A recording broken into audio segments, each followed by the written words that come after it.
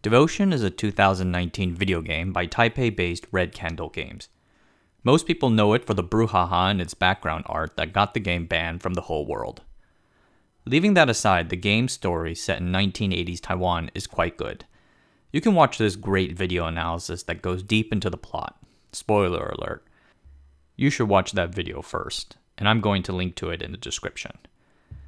Finishing the story, I was struck by the game's thoughtful and emotional reflection on mental health issues in Chinese and Chinese influenced cultures. It has led me to think about such challenges of mental illness for Han Chinese people adjusting to this new modern world, and thus this video. But before I want to uh, go forward, I want to start with a warning. I feel a little weird every time I have to write about something as slippery as culture. Everyone has had a different experience of a particular culture and how culture colors people's responses to their issues. I have friends, Taiwanese, Chinese, American, and more, struggling with mental illness, and all of their stories are unique. Whenever we make some generalization of a group of people, then you find a bunch of individuals for whom the generalization doesn't apply. That's a good thing, because we are deep, complex individuals and I think we should be more than just a single throwaway line. But our brains are descended from bacterium and aren't always quite equipped to fully comprehend the complexity of our world. So we need to boil things down and make generalizations, like what we are about to do today. I want to make that all this clear before we embark on this video. Chinese cultures of the type found in mainland China and Taiwan and also influence the cultures of other countries like Korea, Vietnam, and Japan, can generally be described as having Confucian values. Han Chinese society also sees significant influence from Taoism and Buddhism, but we're going to set those aside for now. I don't want to get too far off track, but do know that there's other influences out there, and they do have their own perspectives on the mental health issue. But back to Confucianism. What is Confucianism? That is for another video, but I want to make clear that Confucianism isn't a religion like Catholicism or the like. Rather, it's a worldview, a philosophy of life. Outcomes of what Confucianism quote unquote thinks of a certain situation or a person's issues are variable and can be reinterpreted. The core tenet of Confucianism is that each member of society has to follow the moral demands that their role requires in relation to others. When you disregard your obligations, then that causes disharmony. This is a big no no, as Confucianism very highly values the maintenance of social harmony, in some cases, higher than that of the individual. Complying with those roles and actions help contribute to personal and social harmony. So, for example, you have a job. Ideally, you go to your office as needed, do your work, and help your boss do their job. In return, your company, which includes your boss, is obligated to provide for you, do their job as well, and keep the company capable of providing a living for everyone. This work relationship is modeled on the basic father son relationship common in Confucian patriarchal societies. You can extrapolate the family model to extend throughout an entire company. The company is the family, and its existence and survival takes precedence over the survival and existence of the individual. Chinese societies, mainland China, Hong Kong, Taiwan, and Singapore, among others, show explicit evidence of a mental health stigma. In one survey in mainland China, 60% of 1,491 responders reported feeling a stigma from having a schizophrenic family member. Another survey in Hong Kong found that nearly half of 320 schizophrenic outpatients were first laid off from their jobs and had family members treated unfairly because of their illness. Comparative studies of the ethnically Chinese people living in Asia and Western societies find that native Chinese are more likely to believe that mentally ill people are quote unquote quick tempered and quote dangerous no matter what end quote. That they might quote lose control end quote and can commit quote outrageous acts in public end quote.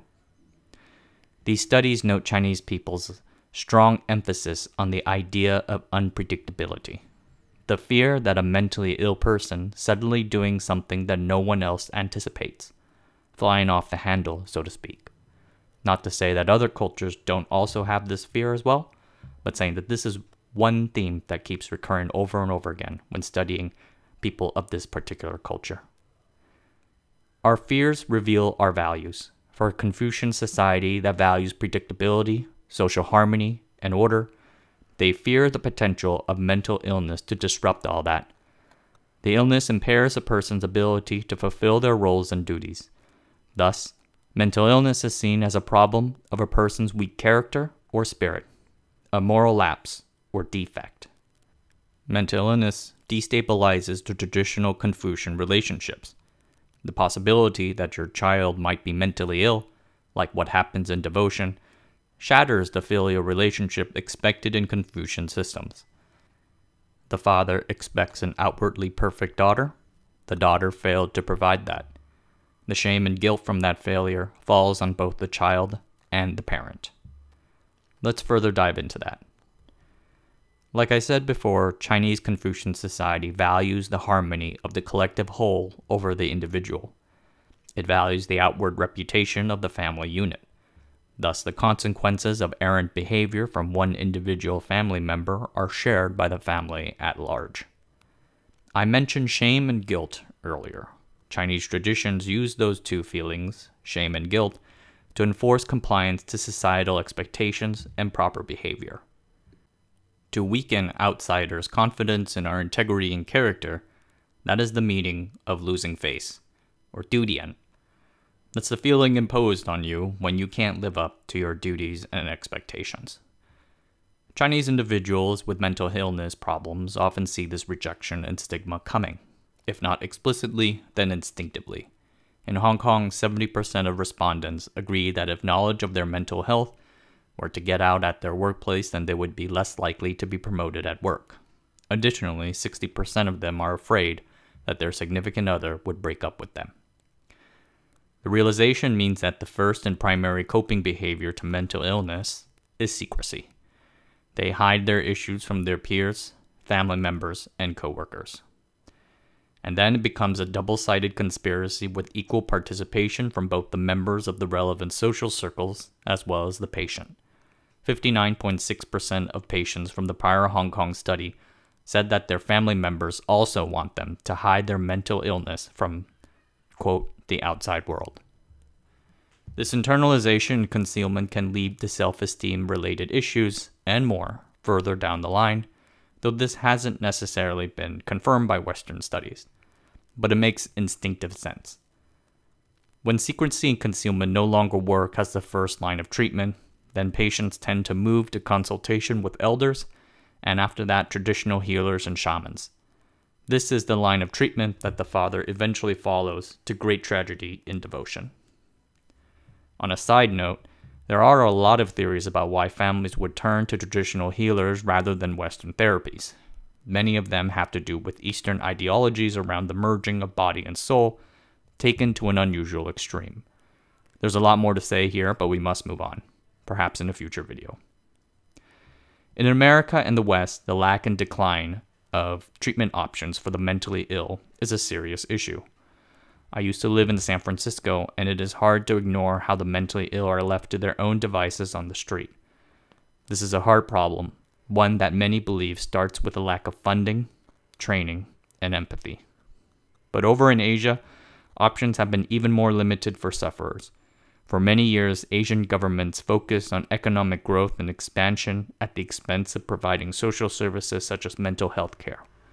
It was a stated governing philosophy. 1996 Hong Kong, for example, spent just 2% of its budget on psychiatric health care as compared to the US and the UK during similar time periods 6% and 10% in 2002. Secrecy guilt, and shame all contribute to making it harder for mentally ill patients who recognize that they need help to get the help they need. While some of these funding trends are reversing somewhat, they far lag behind resources dedicated to mental health issues in Western societies. In Taiwan specifically, mental health literacy remains poor, like as with many other Chinese societies in Greater China, and progress seems to be slow. Surveys of Taiwanese over time from 1990 to 2000 find an increase in people believing that people with mental illness should not be punished for their crimes. Those people are also more likely to support the idea of going to see a doctor for treatment. That's a good thing and something I personally feel encouraged by. But on the other hand, there was a measured increase in people believing that, quote, insanity is hereditary, end quote, and that it is caused by, quote, offending the gods, devils, or the souls of the dead. One in four Taiwanese, up until now, still believe that you can and should treat mental illness by going to a temple rather than a therapist. This attitude is a little more disconcerting, and I'm afraid can lead to further discrimination and shame for sufferers and their families. These attitudes do seem to be influenced by the environment in which the person is living. A study of Taiwanese and Chinese immigrants to Australia found that being born in an Anglo influenced society like Australia weakens this stigma. The strength of the stigma also seems to be affected by the person's age, opening the door to the idea that younger generations are becoming more comfortable to Western concepts of mental illness. We shall see. If you are interested in learning more about how modern millennial Taiwanese in particular see and treat mental illness, and if you can also speak Chinese, I highly recommend this podcast interview of a Taiwanese psychiatrist, which dives into these issues. I feel that you can learn a lot from their empathetic and thoughtful conversation. I know I left a lot out here, and I know I probably missed out on your personal experience with culture and mental illness, but I hope to illuminate a little bit and hopefully this will help you more with this serious health issue going forward. Thanks. Take care of yourselves.